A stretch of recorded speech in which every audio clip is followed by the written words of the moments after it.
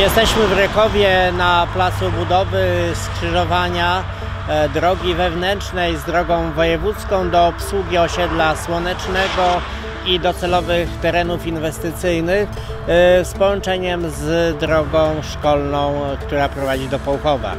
Wartość zadania to jest 3 miliony 200 tysięcy złotych. Mamy tutaj wiązaną, e, wiązane przedsięwzięcie 800 tysięcy uzyskaliśmy dofinansowania e, z Urzędu Marszałkowskiego e, i około miliona złotych e, właściciel, który chce zrealizować przedsięwzięcie, zbudować firmę.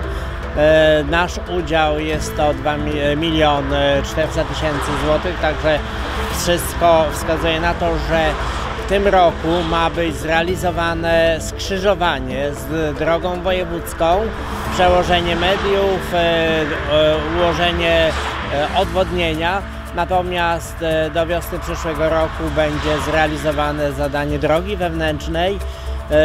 Planujemy również drogę doprowadzającą do drogi szkolnej. Także całość zadania warte będzie gdzieś około 3,5 miliona złotych. Rozładuje to niesamowite problemy, które występowały na osiedlu słonecznym. Były problemy z do, obsługą firm, które tutaj się zlokalizowały ze sprzętem ciężkim, ale też e, ułatwi e, to komunikację całego osiedla, ale również udrożni sprawę powstawania nowych firm które mogą zlokalizować się po tej stronie drogi 216.